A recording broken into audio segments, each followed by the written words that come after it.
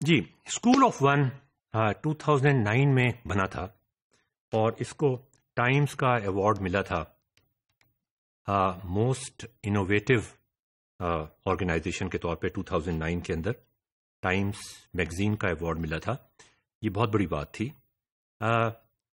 ये is a middle school का mathematics programme basically होता है इसके अंदर। New York city department of education के अंदर 2009 में शुरू हुआ।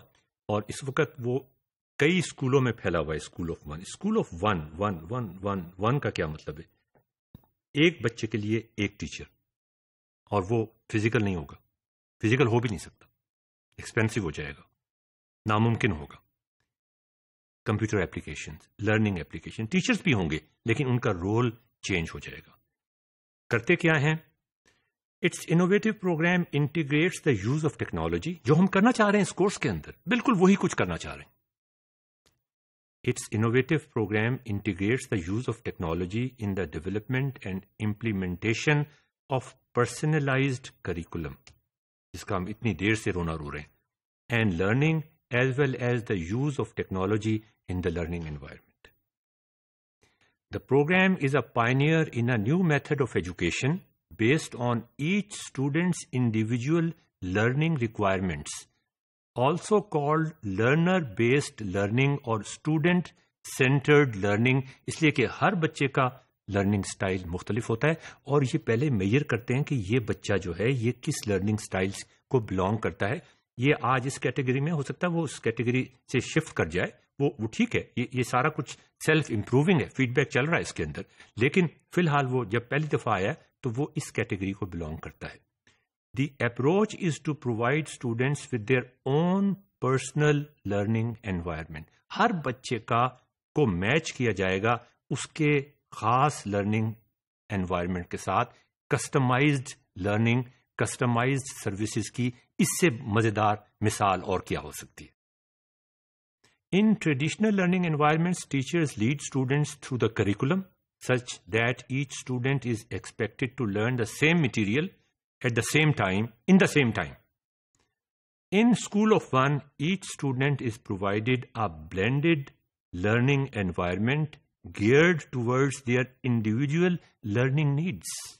ये ये बात हुई ना नाजरीन दी लर्निंग नीड्स को पहले आइडेंटिफाई किया जाता है by state assessments and test results and then often to create a students playlist और इंडिविजुअल लर्निंग प्लान हर बच्चे का का एक प्लान बनाया जाता है कि ये यहाँ से चढ़ के इस पहाड़ पे चढ़ना चाहता है।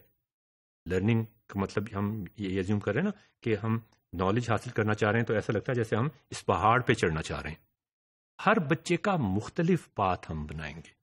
वो पाथ जो उसके एटीट्यूड को एप्टीट्यूड को स्टाइल को सूट करता हो, जिसको वो एंजॉय कर सके, जिसमें वो आसानी महसूस कर सके।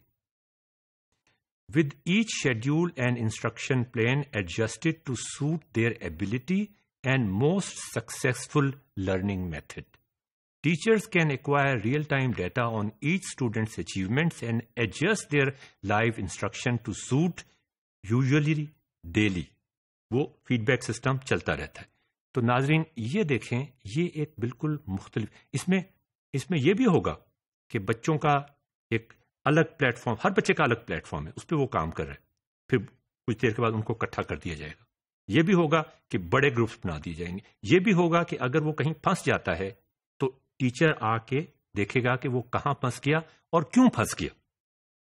और वो उस बच्चे की भी मदद करेगा और साथ ही उस कस्टमाइज्ड मॉड्यूल को जिसमें वो फंस गया है, उसको करेक्ट करने की भी कोशिश करेगा। इसलिए कि अगर एक बच्चा किसी जगह फंस गया है तो ये बच्चे का कसूर नहीं, हमारा कसूर है। उस सॉफ्टवेयर का कसूर है, जिस सॉफ्टवेयर ने उस बच्चे को पढ़ाने की कोशिश की थी।